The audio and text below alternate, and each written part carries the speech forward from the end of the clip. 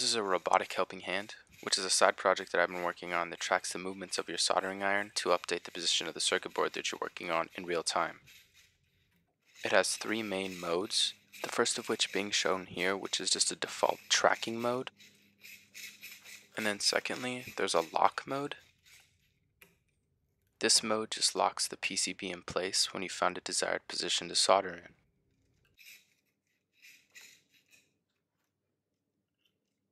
The last mode is calibrate, which upon being pressed registers the current position of the soldering iron is home. And all of this stems from the desire to not have to manually manipulate the circuit board. I've been using a Radio Shack helping hand for my entire life, and this is kind of standard procedure for anybody else who's soldering at home or is a hobbyist, and these things are super clunky and cumbersome. For example, if you just wanted to move it up and to the right, you'd be adjusting multiple joints and it would still be swaying left and right when you didn't want it to while soldering.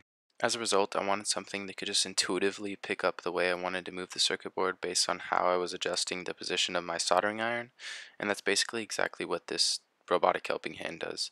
It's almost like a little mini desktop Jarvis or something like that.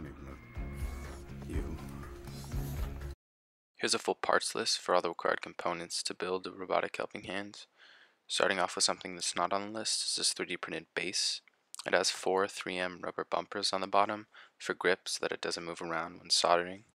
Next we have the custom PCB with an Arduino Nano and two metal geared MG996R servos with a pan tilt kit. This allows the platform to move both horizontally and vertically in response to yaw and pitch changes on the gyroscope. Next up is the upper 3D printed body part which mounts to the plate of the tilt servo through two M3 screws.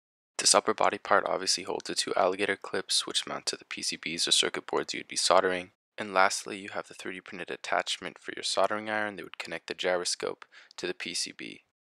To talk a bit more about the PCB I designed, it interfaces directly with an Arduino Nano that takes input from the MPU 6050 through these four male header pins that are labeled with the SDA, SCL, VCC, and ground um, connections, and then you have the pan and tilt servos that would connect through these six male header pins here. And then the entire thing is just powered through this micro USB here. So through this 80 centimeter long jumper cable that's included in the kit, you would plug it directly into the gyroscope that's on the soldering iron and then connect the corresponding pins to the PCB. The 3D printed gyro attachments interface with both round style soldering irons and the TS100, now to talk a bit about the code, it's based heavily on Jeff Rowberg's MPU DMP6 library, and essentially what it's doing is fetching the raw data for the yaw and pitch angles and converting them to Euler angles through some basic math at the top, and then mapping those Euler angles onto servo readable and writable angles. It also has a couple of loops to correct for yaw drift, which is an inaccuracy in the gyroscope where the yaw angles tend to drift a little bit in the beginning for a specific period of time, usually a couple of seconds. The full program, along with all the STL files and the parts list, has been published on my GitHub in the description.